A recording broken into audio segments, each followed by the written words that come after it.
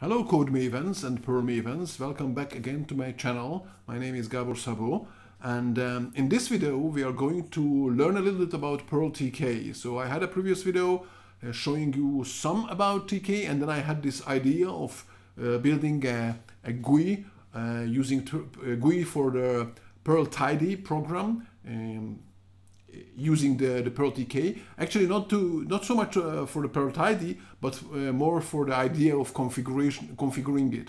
Um, because Perl tidy is better to use it on, on the command line. But when you're configuring it, you're playing around with various configurations. I would like to get immediate feedback and immediate visual feedback. So that's the, the idea.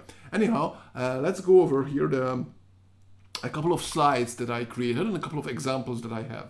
So in this uh, page, uh, on this page, is, uh, the URL is code-maven.com slash slides slash perl slash tk. And that's where uh, I started to put together various slides, uh, various examples using Perl TK, and uh, it's gonna grow. But let's go the the couple of the go over the, the examples. And and in case you didn't get the the URL, don't worry. I'll put it under the video in YouTube and every place where I I um, publish this video, I'm going to put the URL just uh, included so you can be able to find the examples.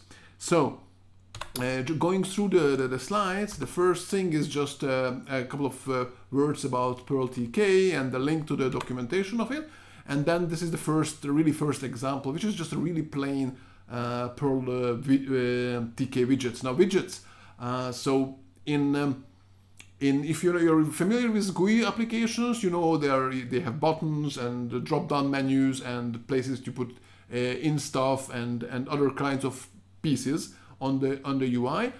In uh, the Linux world or Unix Linux world, these things are called widgets. In the Microsoft Windows world, they are usually called controls, but it's the same same idea. So each one of them is a, is a widget, and we are going to see a couple of of these uh, widgets. But the first one is just a plain window without any widgets. So let's switch to the terminal. And this is the same directory where I have already have the examples. So here I just run the plain and it doesn't, you don't see much. It's just a square something, a gray, uh, nothing in there because, well, that's just a plain uh, window. Uh, let's see the, the, the, source code for it. So this is what it's on the slide and this is the source. By the way, if you click on the name of the files here, you actually get to the GitHub page, uh, the source code of all the slides and all the examples. So you don't even have to copy paste from the from the slides. You can get to the source code itself. So what we have here is just, the standard uh, use strict use warnings of Perl. And then we load the TK module, which you obviously have to install before you start using it. And um, and then, which is just cpan-m uh, TK, I would probably should put something like this at the first uh, page. Then using the main window method, so I don't really like it, but TK automatically imports uh, these uh, these words, and I don't not, not even sure if I can explicitly tell it to import this and that.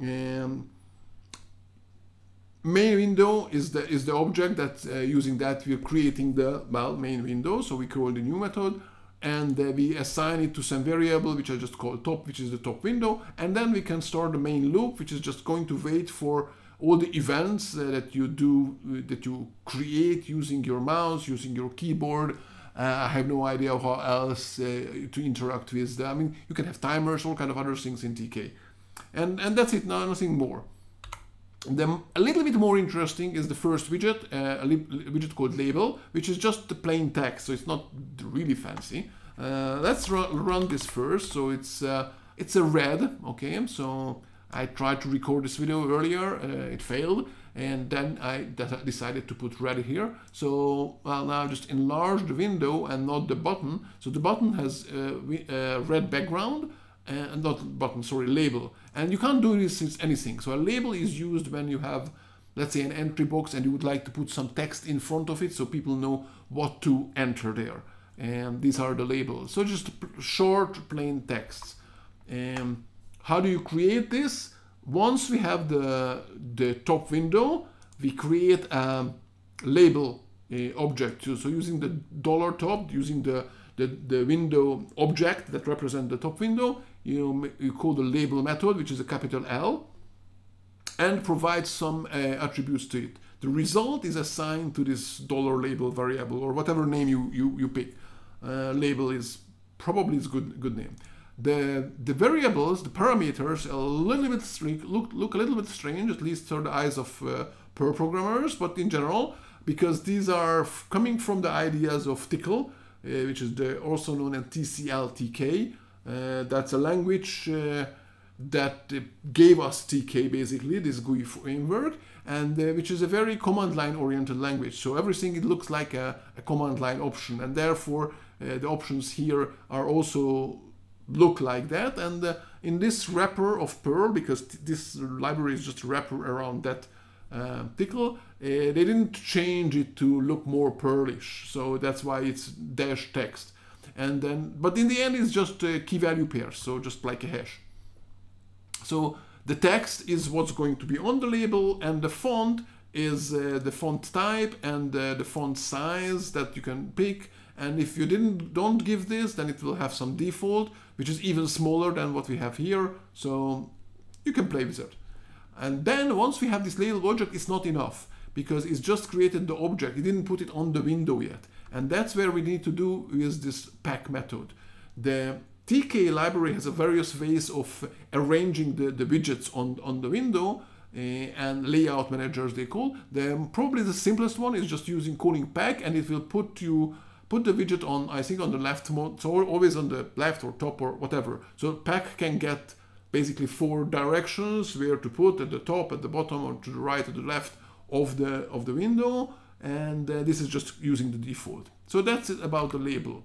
And we're going to talk about uh, these uh, layout managers later, but for now, just playing around is, is good enough. And the next one is a button. So the button already has some actions, action connected to it. I run this uh, script and uh, what you can see is, I, okay, I have to drag it here. Um, this is a button. How do I know? I can click on it, it also says click me. And then as you could see here appeared clicked. So every time I click on the console, it prints something. Um, normally, I mean, probably if you write a, a windowing application to TK, you won't print anything on the console, on the terminal. You're not expecting people to look at it. But uh, for this small example, I didn't want to create another widget uh, to show you uh, that it happened something and how to happen. So how it happens. So for now, I'm just printing on the console. So how does this look like? How does the source of this uh, application looks like?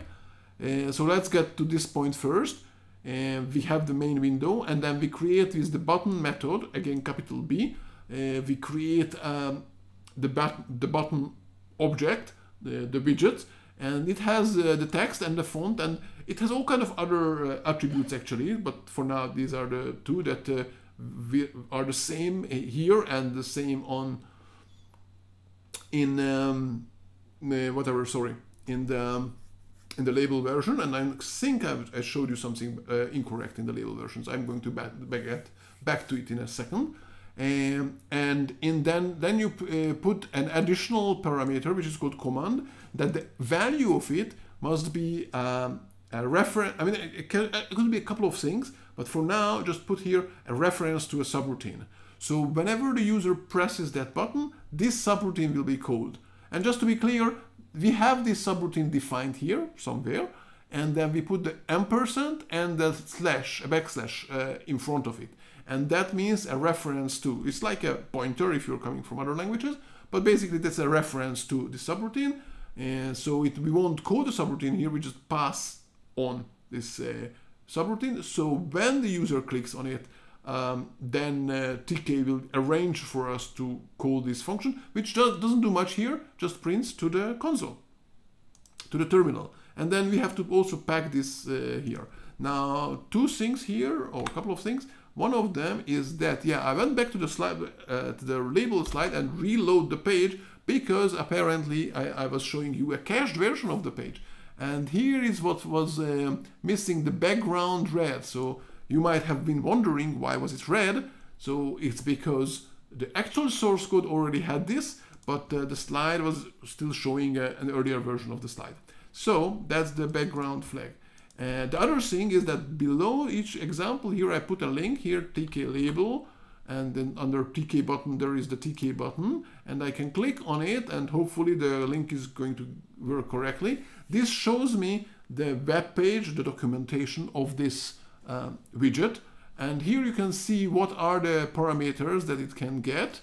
So there are all kind of parameters that a button can get but the general ones, so these uh, uh, the text and the background color and so on, they are all under the TK options. So I, I cl click here, uh, as you can, uh, I think it's on every page, and here you can see, so I think background, if I search for it, um, here you can see that there, there is this flag and then you can read about it and you can see all kind of other uh, attributes that you can use to change the look of, uh, of each widget.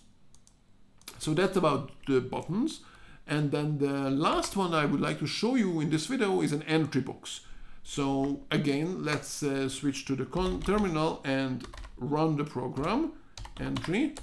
So what we have here is an entry box which has some text, a place to write some text. So I can type in hello world and then a button that I can click. So now it has two widgets basically an entry box and the button and when I clicked the button it printed out hello world and just again just the word clicked uh, so you will know that something happened especially if you don't type anything here and then it will just, without the click you would not see anything. So uh, that's why I added it uh, for now just for the demo. So what do we have here? Um, we have the main window. We add one widget which is uh, an entry fixed uh, the type of the font and the size is 40 so there's going to be larger fonts. You could see that the, uh, the letters were much bigger for the entry box than for the button and then I pack that. So I, I add this is added to the to the window. Then I create the button and here too the do on click or whatever. It doesn't matter the name of the function. Uh, but this time the function I was defined after the whole thing. And the reason I needed uh, to be it after because in the function I use the dollar entry, which is um, an object that was created here. So I, I couldn't de really define the function before that. So that's why I moved it uh, behind. Actually, I think in real code, I would probably put everything into everything into functions. So the creation of these as well. And uh, eventually I would put them in a, in a, class so we can pass around uh, objects uh, easily. Anyway, so this is what we have. Uh, now I packed the other one, so I packed both of them. Let me run it again just to so you can see it. So you can see that the entry box is at the top and then below is the is the button. So that's how the pack uh, works. And the function itself is the last thing that we have to see is that we have the entry object and call the get method of it. And that get method will actually take out the content, what's actually typed in the entry box, and then here in, in this case I'm just printing it out. Actually I think you can also put uh, some value there, so let me scroll down here.